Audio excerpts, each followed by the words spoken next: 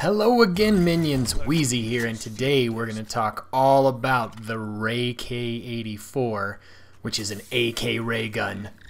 How to get it in Outbreak, how to upgrade it all the way, and everything you need to know. Stick around.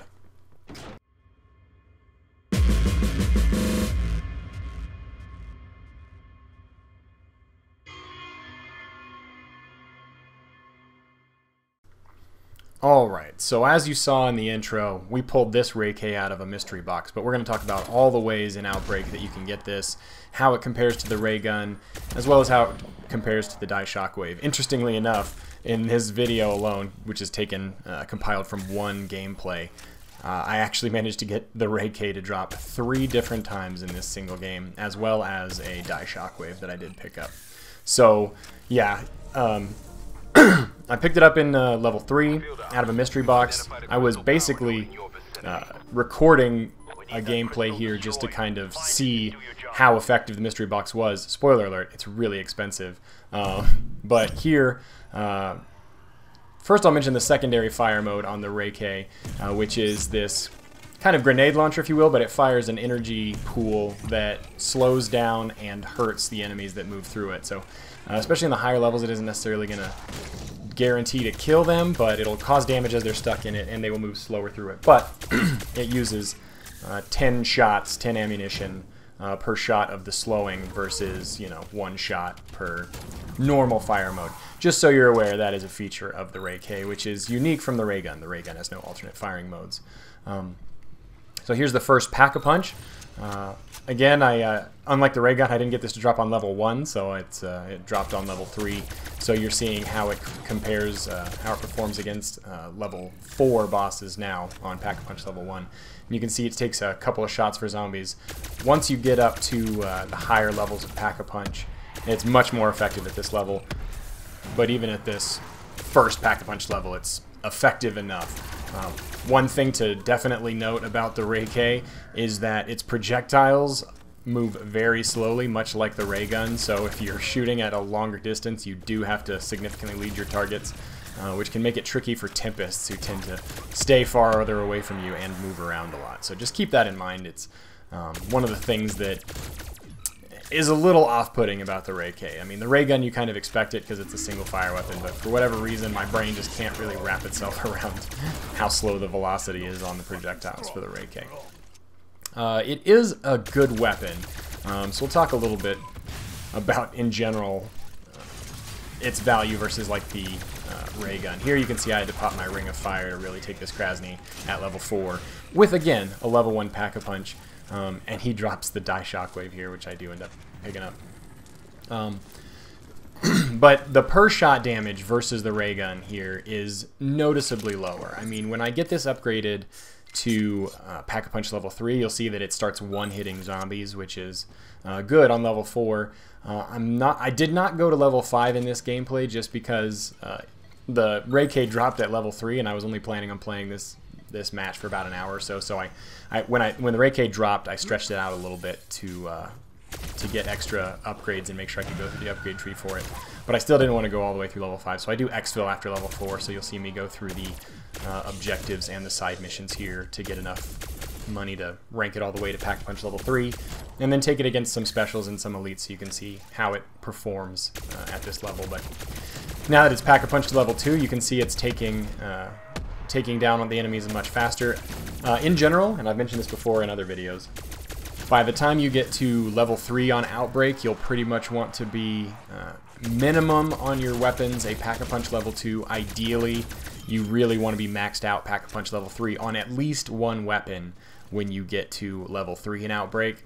Um, this being level 4, uh, the fact that this is the Ray K is why level 2 is, is performing well. Uh, that isn't going to usually be the case, but um, if this drops earlier, you know, obviously try and, and push the upgrades as fast as possible. Once you get to level 4, level 5, you really are going to need the bigger upgrade. But there you can see that uh, Megaton from the Golden Chest, I melted him in just a few shots at Pack-a-Punch level 2, uh, and he'll split into his sub-forms. But, um, so again, effective at level 2, but the you know once you get to level four and higher, you're going to definitely want everything possible packed to level three. Here I start to get swarmed by tempests and uh, I think a Mangler and yeah, and then the projectiles from the child form of the Megaton, and it's just even with the K, it's just not killing things fast enough to really be able to melt through this entire group of things. So I'm having to flee quite a bit and uh, pop my uh, stim shots. So, um, yeah, the, the Ray K versus the, again, the, the Ray Gun,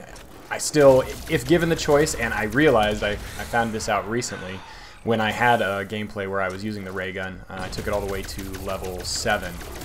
Um, I did in that game get a Ray K to drop as well, and that's when I learned that you can't pick up both at the same time, which was, unless that was a bug in my game, but I kind of played around and tested with it. And if I dropped the uh, ray gun for a different weapon, it would let me pick up the ray K and then not pick up the ray gun. If I had the ray gun in my hand, I, or even in my secondary weapon, I couldn't pick up the ray K. So the game does not appear to let you keep the ray gun and the ray K in your inventory at the same time, which is good to know. So if you run into both, which I think you should take the ray gun every time. The Ray K just, again, doesn't have the per shot damage, and even though it's automatic, um, which allows you more spray, at the same time, it just versus the one-hit power of the ray gun, I just I just find the ray gun to be a lot more effective. Plus, the upgraded Ray K has 50 rounds in the magazine, and the upgraded ray gun has 40. So there's not a huge difference here as I get the second Ray K to drop. Uh, drops from a chest. Um, yeah, the, the ammo is actually relatively close, and so the Ray K burns through it much faster than the ray gun. Um, so after having that second ray K drop in the chest, I guess I'll quickly address the ways that you can get the ray gun. I, I realize I haven't touched on that yet. Um, as you saw, I got this one out of the mystery box. That is the most expensive way to get it.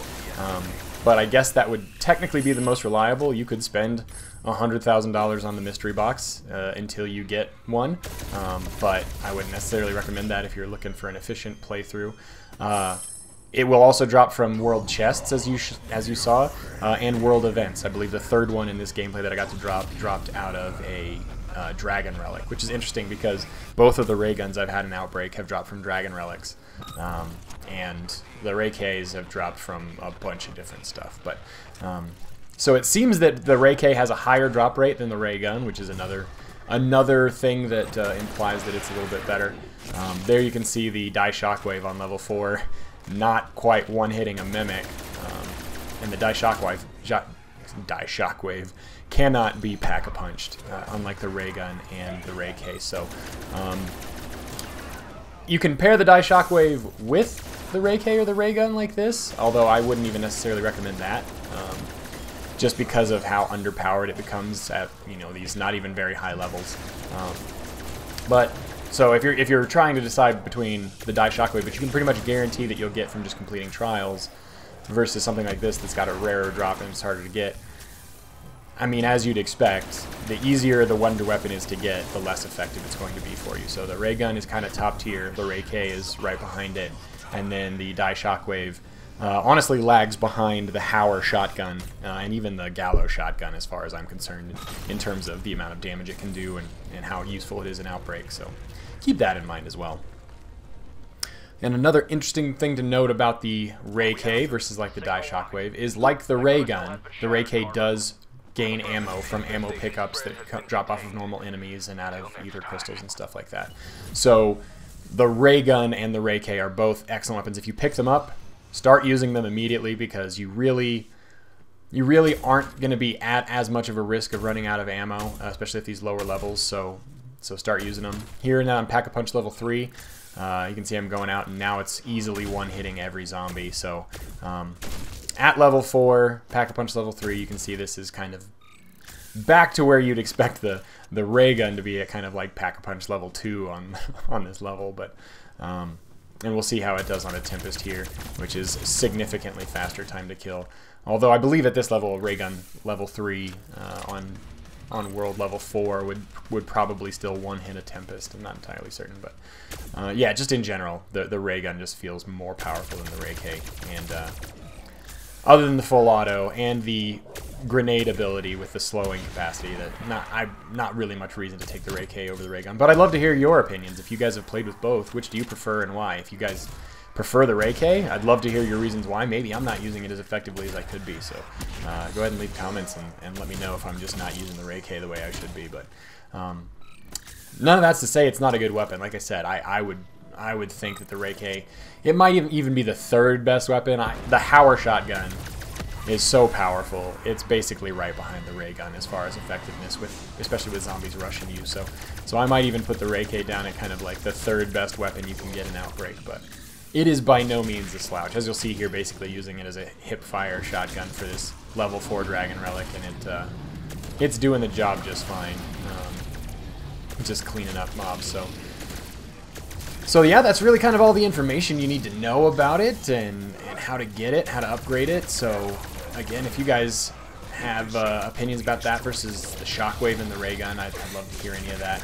Um, this is going to be the Dragon Relic that drops my third Ray K of the game, uh, as it kind of like, and then we'll go through the exfil, but I guess I'll spend the rest of this kind of time letting you just kind of enjoy the, the Ray K uh, gameplay, but also talk a little bit more about uh, Outbreak in general with these weapons. So I felt like when I picked up the Ray K, it's a lot like the Ray Gun. I could have easily pushed into level 5 or higher um, just because of the power of the weapon.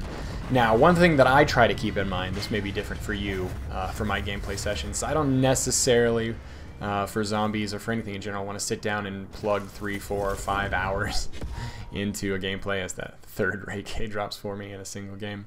Um, so that's why I've done videos on like doing the three and out, uh, this is kind of a four and out. I wasn't, again, planning really to go to four until that Ray K shop uh, dropped for me.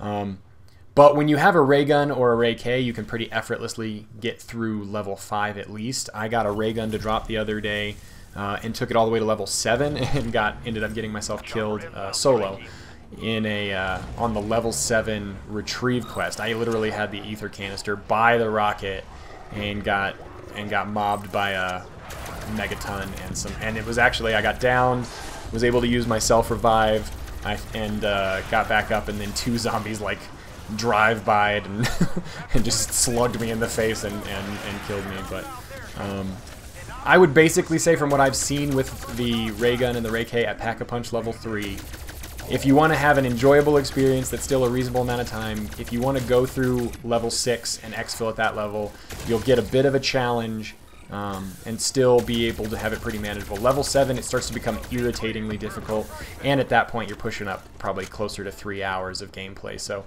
a level 5 or 6 with a ray gun or a ray K will, will probably take you in the ballpark of two, two, two and a half hours. You'll get some uh, crystals, some flawless crystals, refined crystals, stuff to help upgrade your gear, and, uh, and it can be a lot of fun, but it seems for me, at least with a ray gun or a ray K, the sweet spot is right about level 6. Uh, before you want to exfil, unless you're really going hardcore for those higher levels. So, uh, again, let me know what you guys think. Do you guys uh, think I'm a puss? Like level 6, man, I go to level 15 and 20 super easy.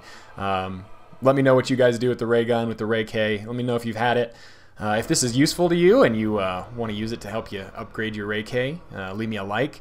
If you just don't like Ray weapons because you're just a zombie lover, I mean, you I don't know why you watch these videos. They're all about killing zombies, so you, you know it's going to be not good for you. But I'm glad that you showed up anyway. If you're not a minion, subscribe to become one so that I can say I love you, minions, because I do love you, minions.